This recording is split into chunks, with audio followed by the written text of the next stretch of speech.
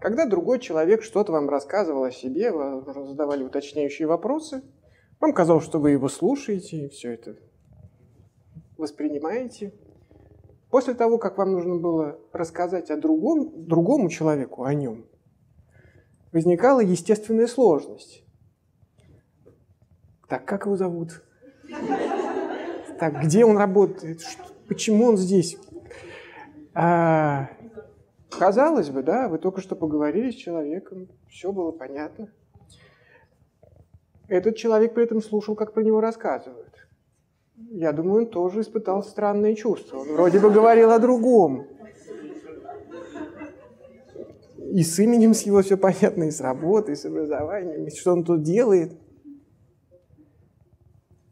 Третье. У каждого из вас, когда вы слушали друг друга, возникало ощущение того, что вы понимаете, про что вам рассказывают. Конечно. Ну, человек там работает тем-то, учится там-то, делает то-то. Все понятно. Теперь представьте себе человека, который знает вас так, как вы себя знаете. Такого человека нету на свете. Но при этом, когда вы слушаете другого, у вас возникает полное ощущение, что вы понимаете, о чем идет речь.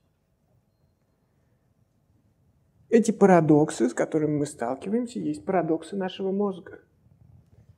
Потому что все, что он делает, он говорит нам. Ты все понимаешь правильно. Ты большой умница. Ты так все послушал хорошо, так все понял. И как только мы начинаем его спрашивать, что он понял, понял ли он, запомнил ли он, мы обнаруживаем, что он просто врет себе. И это вранье, которое наш мозг совершает постоянно.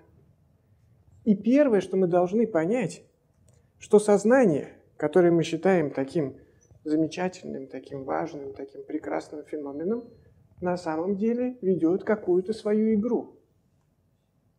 Давайте сейчас попробуем понять, что вы, вы же все знаете, что такое сознание. Я допускаю, что вы можете не знать кантовских вопросов, хотя имело бы смысл. Но что такое сознание, вы же должны быть в курсе. Что такое ваше сознание? Вот вы понимаете, что вы ежесуточно теряете сознание. Каждый раз засыпая, вы теряете сознание. Если вы посмотрите на кого-то из своих, ну, кто, кого вы можете увидеть спящим, то вполне очевидно скажете, он без сознания. Да? А наше сознание чрезвычайно ограничено в способностях. Когда вы ведете машину, есть здесь те, кто люди, кто водит машину. Поднимите руки. Так, ну смотрите, много водителей. Когда вы ведете машину и разговариваете по телефону, где находится ваше сознание? телефоне. А кто ведет машину? Мышечная память, да. Автоматизмы, да? А, ваше сознание вчера было одним, завтра будет другим, в зависимости от того содержания, которое вы имеете. Отражаем ли мы сознанием действительность? Действительность огромна, объемна, а вы можете только говорить по телефону или вести машину. Ну, машину уже ведете на автомате. Какую действительность? Вы отражаете какую-то очень маленький ее фрагмент. Очень популярны рассказы про мультизадачность, что мы можем делать много задач сразу. Есть здесь многозадачные люди? Давайте.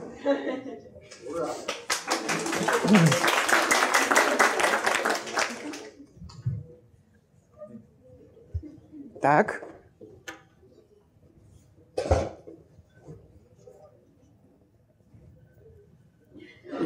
Я как фокусник. У меня колода карт. Да? Я буду показывать фокус. Как вас зовут? Юля. Юля. Юля сейчас будет делать одну задачу. Ей нужно будет разложить колоду на э, четыре масти тут, да? Да? Да. Понимаете, там крестик, да, как-то буби, вот это вот. Просто ну, разложить, да? Да, Все. на четыре группы.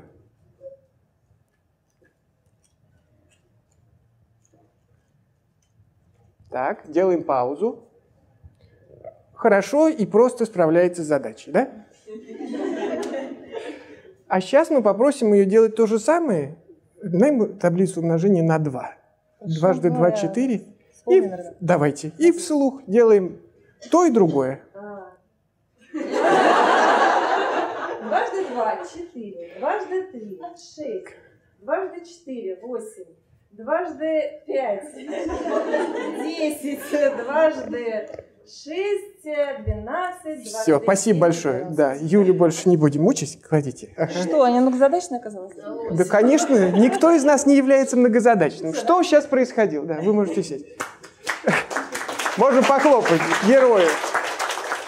Что сейчас происходило? Вы видели, как карта каждый раз зависала, когда шел счет, да? Нужно было сосчитать таблицу умножения на 2. Ее знают все, и, в общем, нас даже во сне можно разбудить. Мы, в общем, все-таки справимся с этой задачей. Да? А мозг не способен делать две задачи сразу. Он может что-то превратить в автоматизм, но это уже не будет сознательным действием. Количество людей, которые попадают в аварии именно потому, что они говорят по телефону, огромно. Да? Почему? Потому что в этот момент машину ведет автомат, который в голове э, соответствующие зоны мозга за это отвечают. Но если он будет делать что-то сознательно, он будет переключаться с задачи на задачу. И тут и происходило. Раскладываю карты и переключаюсь на таблицу умножения. Говорю дважды два – четыре, нахожу карту. Беру следующую карту, думаю дважды 3, 6, да, и после этого понимаю, куда класть. Наше сознание предельно ограниченная штука. Мы с вами абсолютно немногозадачны. Но это не единственное ограничение. Когда вы используете сознание для того, чтобы принять решение или о чем-то подумать, какое количество интеллектуальных объектов участвует в принятии решений? Как много факторов вы способны учесть, когда вы принимаете решение? Три, четыре. Все правильно сразу уронил карты. Всего лишь 3-4 интеллектуальных объекта. Да? Все знают знаменитое число 7 плюс минус 2. Это то, сколько мы можем запомнить в оперативной памяти единиц информации. Да? Почему раньше телефоны запоминались достаточно легко? После того, как появился префикс, вот этот вот, там, 921, 911 там, или какие, и так далее, мы на слух не воспринимаем телефон. Потому что э, больше того количества, которое способно в оперативной памяти удержаться. Но это просто память. А если вам надо думать, то максимум, которым вы пользуетесь, это 3-4 обстоятельства, которые вы учитываете. Вы представляете ограниченность нашего сознания в принятии решений. Ну и самая фантастическая вещь в последнее время тоже выясненная и доказанная. Какова продолжительность мысли, которую мы думаем? у меня есть подготовленные слушатели. Три секунды. Мысли, которые вы думаете, длятся три секунды. У вас есть ощущение, что они у вас там длинные, серьезные, вот это вы начали страдать, мучиться, думать, как ваша жизнь не состоялась, почему вы не можете что-то начать с понедельника и так далее. Три секунды, три секунды, три секунды, и дальше склейки. Просто склейки. Да, когда вы находитесь в состоянии блуждания, ну, про что-то думаете, вот вас спросишь, о чем ты сейчас думаешь? Да, вот это самый вопрос такой, ставящий в тупик, да? Ну, вы думали про многие вещи, да? Вы думали по 3 секунды, а, одно, а одна тема занимала у вас всего лишь 10 секунд. То есть вы в лучшем случае про какую-то тему, про которую вы задумались, вы подумали 10 секунд, из там трех-четырех фрагментов, Потом вы ее кинули и стали по системе ассоциации думать о чем-то следующем. И вот эту интеллектуальную окрошку мы называем сознанием. Ну что, я, ты же в сознании не спишь? Не спишь? Молодец. А что думаешь? Ужас. Чудовищно ограниченная вещь. А теперь давайте подумаем, что на самом деле мы делаем. Не наше сознание, с которым мы себя идентифицируем, а что мы делаем? Что делает наш мозг? Как вы думаете, что сейчас делает ваш мозг? Так, значит, очень важная вещь. Мы все с вами находимся под воздействием гравитации. Это очень сложная вещь. Мы в свое время потратили много усилий для того, чтобы научиться ей противостоять. Если кто-то помнит, мы с вами плохо держали даже головку. И нам надо ее было поддерживать. В противном случае у нас под действием гравитации она бы куда-нибудь, понимаете, завалилась. После этого мы учились сидеть, стоять и так далее, поднимать, перетягивать корпус. Это была очень большая задача. Если вы думаете, что сейчас вы этой задачи не, не выполняете, это так. Вы сейчас сопротивляетесь гравитации. Это большая работа, которую производит ваш мозг. Дальше, вот вы меня видите, да? Вы знаете, что в центре меня дырка? Да, я дырявый. Не заметите, нет? Ну посмотрите. Ну точно есть дыра во мне. Нет? Нет? Но так устроена наша сетчатка глаза, что там есть слепое пятно. Та зона, где отростки, где окончания нервных клеток, которые воспринимают фотоны от меня, отлетающие и летящие в вашу сетчатку глаза, там просто нет рецепторного аппарата. И на самом деле вы постоянно видите перед собой картинку, в которой большое черное пятно в центре. Почему вы, вы его не видите? Потому что у вас есть затылочные области коры, в которых происходит следующая операция. Они получают всю информацию, дальше понимают, что они должны увидеть, они это продумывают и реконструируют ситуацию таким образом, чтобы вы не замечали ни этого большого пятна, ни огромного размытия вокруг меня. Вы все всю дорогу чувствуете, что вы находитесь в объемном пространственном помещении. Если вы думаете, что это вас как-то Господь Бог вам нашептал, что вы находитесь в пространственном помещении, это нет потому что у вас есть теменные области коры, которые вокруг вас формируют это пространство. И вы его не видите сейчас ни сзади, ни сбоку, вы видите только перед собой, но при этом вы его чувствуете вокруг, потому что есть соответствующие зоны. Но вы еще более того, вы постоянно создаете, сидите и распознаете мою речь. А я что делаю? Вы думаете, я разговариваю? Да, пожалуйста, не испытывайте иллюзий. Да? Я просто колеблю воздух.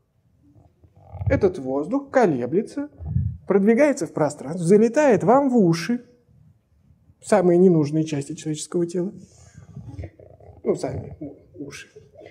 А дальше у вас там внутреннее ухо, там стремечко, молоточек, понимаете, я ударяю по мембране, да, я легкими толкнул воздух, он полетел, толкнул вашу мембрану, там целый набор воздействий, который в результате колеблет жидкость, которая находится в вашей улитке, а внутри этой улитки находятся воспринимающие рецепторы, у которых такие длинные волосики, которые колеблются в воде, которые в вашем ухе, потому что я плюнул своим воздухом из вам грудную клетку, и вот эта вот муть попала вам туда внутрь, и из этого вы слышите смысл слов, которые я произношу. Вы представьте. Это делает ваш мозг. Теперь все закрыли глаза, все закрыли глаза и почувствовали, как вам в попу давит стул. Возвращайтесь ко мне. Это происходило всю дорогу. Вам в попу давил стул.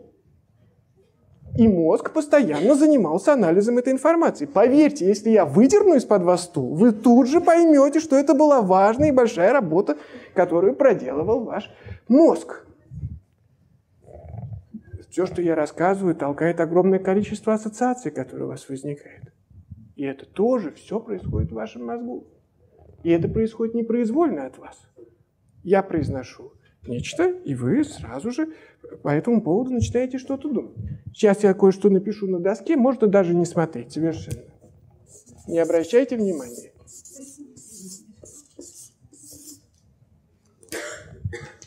Не смотрите, это не важно. Теперь закройте глаза, закройте, и представьте себе трех животных.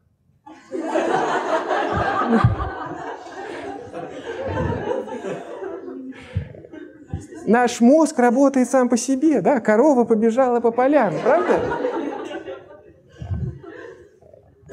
Итак, самая важная вещь, которую очень сложно понять из первой главы первой красной таблетки, и которую я сейчас пытаюсь вам изъяснить в таких фокусах.